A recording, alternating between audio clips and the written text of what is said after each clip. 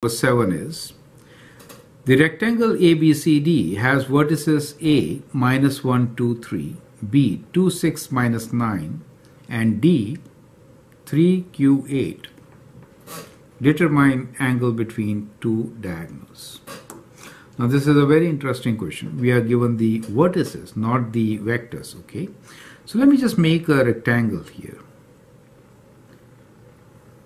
Always write in a particular order, in any order, right? If you want to write A here, begin with A, B, C and D, right? So, so it becomes like this. So in particular order.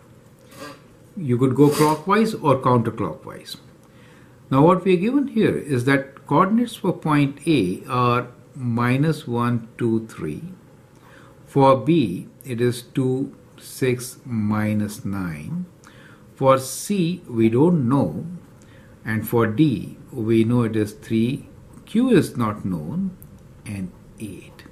We have to find what C is. Now, there are a couple of ways to do it.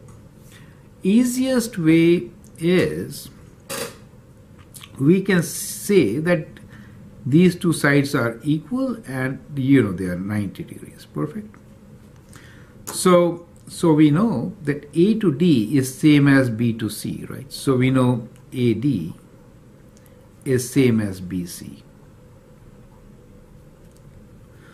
Now if you see A to D, AD basically is how do you get 3 from minus 1? You add 4, right? So if you see A to D, it is this minus this. A to D is this minus this, which is 4, q minus 2, and 8 minus 3, which is 5. Now c we don't know, so we'll write this as x, y, z, is okay? So it is equal to x minus 2, y minus 6, and z minus 9, which becomes minus and minus is plus.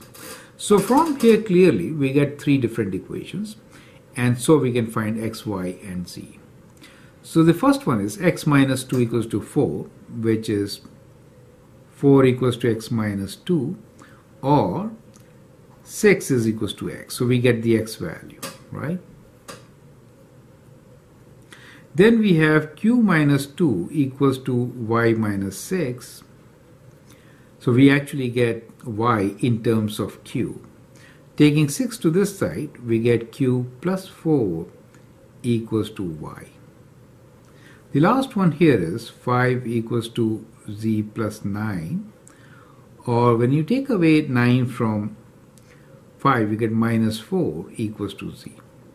So the coordinates for point C basically are 6 and in terms of q we have q plus 4 and we have minus 4 right?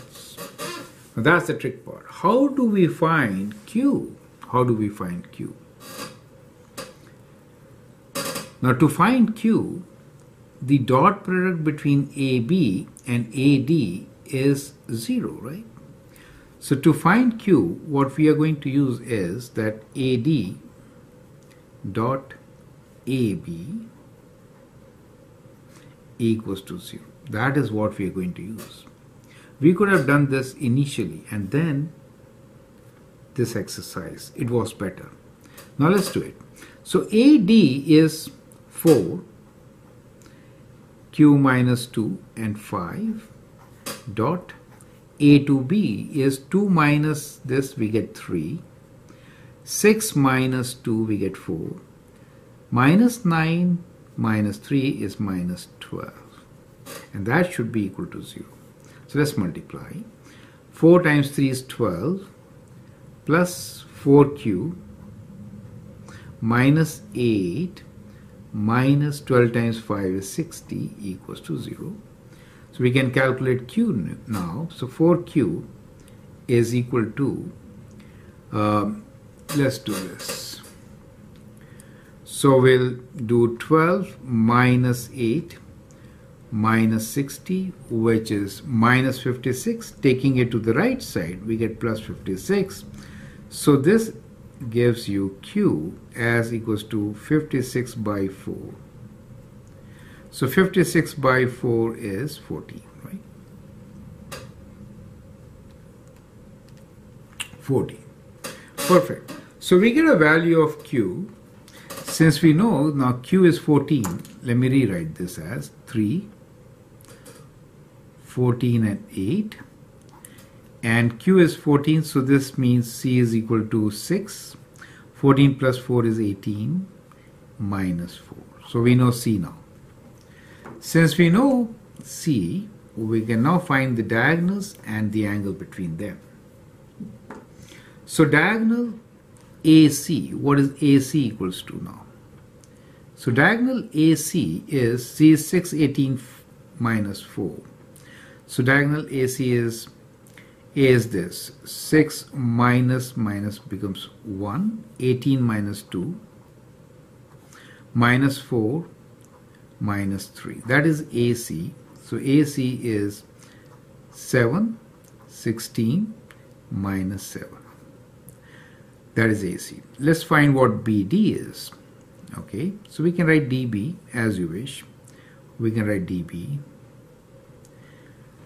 DB is 2 minus 3, which is minus 1, 6 minus 14, which is uh, minus 8, and minus 9 minus 8, which is minus 70.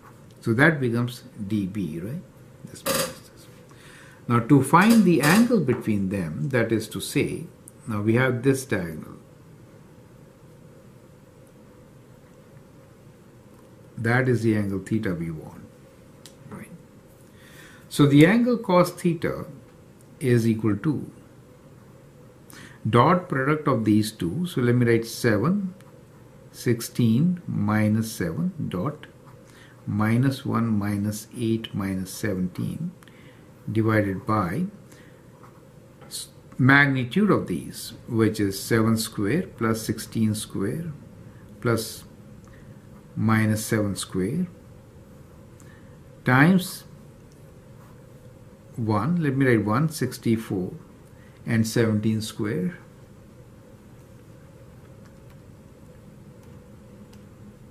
Two eighty nine. correct? So that becomes the cos theta part. So let's do the dot product now. 7 minus 7 we get 16 times 8 with a negative sign 16 times 8 is equals to 128 and then we get plus 7 times 17 119 divided by square root of uh, 7 square plus 16 square uh, plus 7 square is equal to square root of 354 times square root of uh, 1 plus 64 1 plus 64 plus 17 square is 289 equals to again 354 right? So that is 354 now this is equal to we're going to 119 take away 7 take away 128 is equals to minus 16 divided by 354 right? So we have 16 divided by 354 which is 8 over 177 anyway so we can find theta from here. Now since this is negative we're actually finding the this angle for negative right? Obtuse angle so let me write the acute angle first, which will be kind of positive because uh, both are the right answers, right? So, so what we can do here is we can find theta as cos inverse of 16 over 354. So we get shift cos inverse of 16 divided by 354 which is equal to 87.4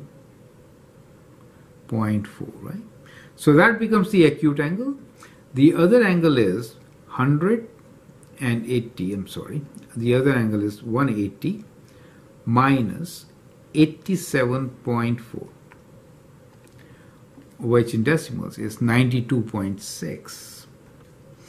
So we can say the other angle, let's call this as phi, is equals to is equal to 92.6. So these are the two answers for the given question. So I hope you have learned about dot products in this particular video. Feel free to write your comments, share your views, and if you like and subscribe my videos, that'll be great. Thanks for watching and all the best.